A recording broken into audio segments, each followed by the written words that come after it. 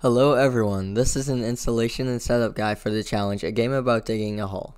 This game is acquired using Steam for $4.99, right here. If you have any other version of this game on a different website or application, then it will not be permitted for this challenge, so be sure to pick up the Steam version first. The first thing we have to do is set up an input display called NohBoard.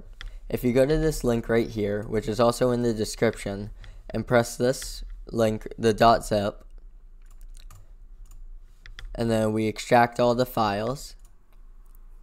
It might take a second, but you and we click this. It will turn up to be a blue screen, but don't worry. If we right click and press load keyboard, the one that we're currently going to be using for this challenge is J0A07YT. And if you come to clean black, clean white, and press restart over here, then it will come up and it can read all your uh all your keybinds, which is a good thing that we're going to be using for proof and uh, eligible for the challenge. If you do not have this, then you will not be eligible for the challenge, and your run will get uh, immediately rejected. The second thing we have to set up is live split for the auto splitter and to time your runs. If you come to livesplit.org and we go to downloads and we download the latest version 1.8.33 and come up here. And once again we extract all the files. This is going to take longer than the NohBoard but still pretty quick. Not much time. And we open livesplit.exe right here. It should be in between these. If not uh, you might have to go looking for it but it should be in here. And since it does, it it's an exe, so it runs it as a um an unknown publisher. You just want to press more info and run anyway. Uh, yes. So now we have here a live split. If you go to edit splits and we search up a game about digging a hole it the auto splitter is right here by Sawblind. Um, we'll be putting in the run category any percent glitchless, and if you press activate, and then settings, you can run all your settings through here. So you can go with upgrades, ores, achievements, and depth. Um, I would recommend turning off the spam final split in the final split. I would recommend using upgrades and depth though. If for inventory, shovel, battery, and jetpack, and you know, the 10, 25, 50, and 70. Note these are not necessary. Um, currently in my other split file, I just have end as my only one. Um, but if you go to edit layout and you go to splits and you double click on that, you can change the amount of splits you have on screen. So mine's currently one and it just shows the end split and so you can change this to how many splits that you have um yeah that's about it for live split the next thing we have to do is uh, actually broadcast your game to twitch and youtube uh, we're going to be using OBS or Streamlabs OBS if you want. In my opinion, OBS is easier to use and more efficient. So the first thing we need to do is add a display capture. Now, of course, I need one so I can actually show y'all. But if you go down here to the add sources and we come to display capture and press OK, uh, and then at the display, you press uh, your primary monitor or whichever monitor you are using. And for me, I have to resize it because I have an oversized monitor. But if you fit it to your screen, this will show all of this will show all of the game and the FPS up here which is very useful for runs and is actually necessary. The FPS is necessary for eligibility in this uh, in this challenge. If you don't do imp- or if you don't do display capture and you do game capture, it will not show the FPS up here, making your run completely invalid. The next thing we have to do is do a window capture for live split and NohBoard. So if we press window capture, it should automatically go to live split, but if not, you can uh, go to the drop down menu and click live split. You can place this anywhere on your screen, but try and prevent as much of the money as possible. Um, I would recommend putting it in here, here, or here. The one thing that's not allowed is the uh, money and the FPS and everything over there. So I would put it down here, just in my opinion. The next thing we need to do is create a window capture for NohBoard. And this one is a little more tricky, so you might have to watch this a couple of times. If you do window capture, press OK, and go to NohBoard, uh, then it will come up with the green screen. Now, we want this to be invisible because the green screen, it takes up a lot of space. So if you go to window capture 2, you go to filters, you press the drop down right here, and it should be called chroma key. You press OK, and it should automatically set to green, which perfectly fits to make this invisible. And that is all for OBS. Um, the another thing you can do is go to settings, uh, output, or no, stream, uh, service, Twitch, or YouTube if you want. Uh, it can be YouTube, but I am using Twitch uh, currently.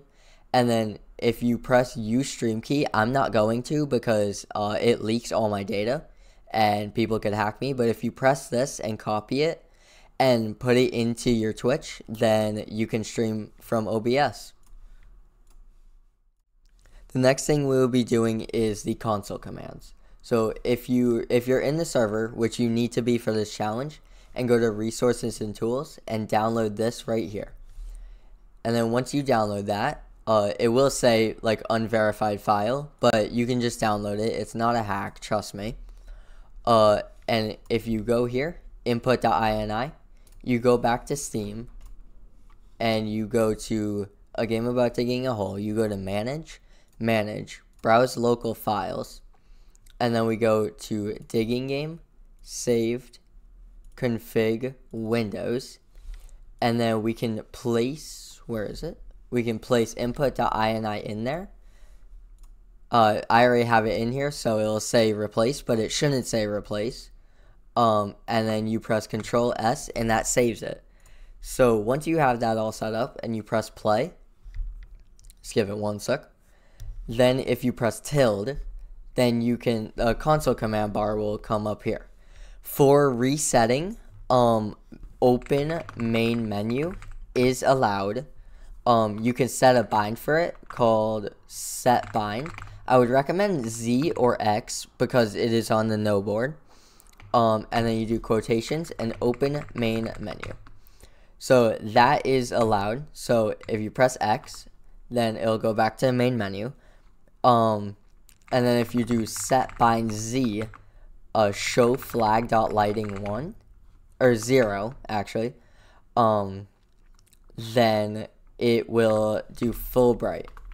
I forgot to add a space. Make sure to add a space.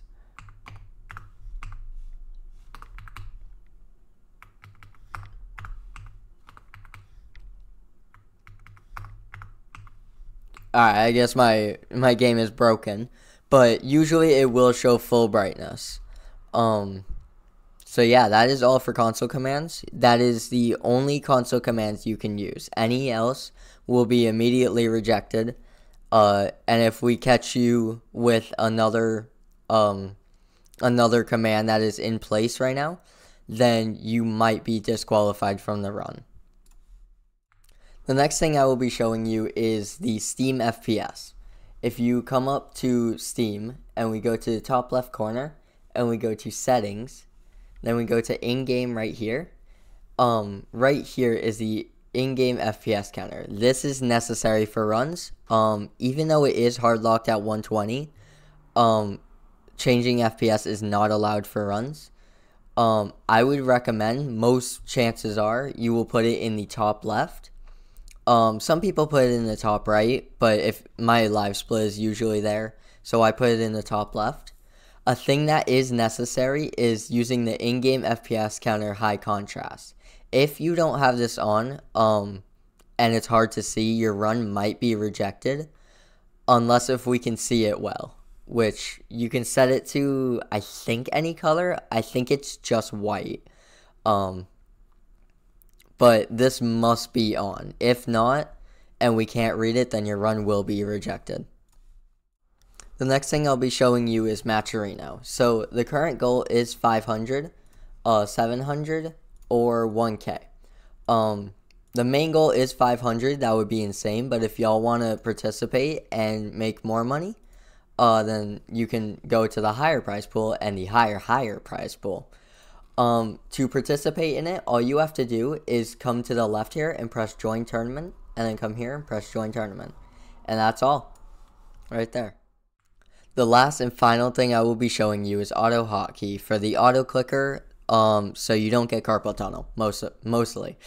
If you press download right here, uh, download v2.0, and then, of course, download again, uh, and then just press install, or you can put it to any, um, any drive you want, and you press install, and then you go, oh, it should, alright, it opened. And then you can actually close out of this. If you come to the discord and it is right here agata autoclicker.ahk and you press download. And then you press it uh, it's already running for me but it, it won't say this uh, press yes and down here you can see that it is currently running agata autoclicker.ahk so if we go to a game about digging a hole and if we hold right click, it'll say at the top the Agata auto clicker is active.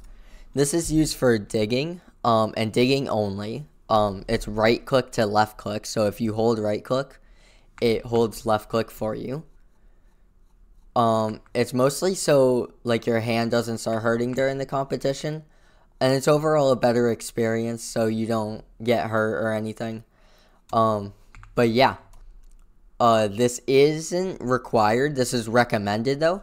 Um, if you don't want to use it, that is completely fine. You can you could spam if you want. Um, we don't really care. But that is the only thing. I hope you enjoyed this tutorial and the setup video, and I hope everyone enjoys this challenge. Thank you so much.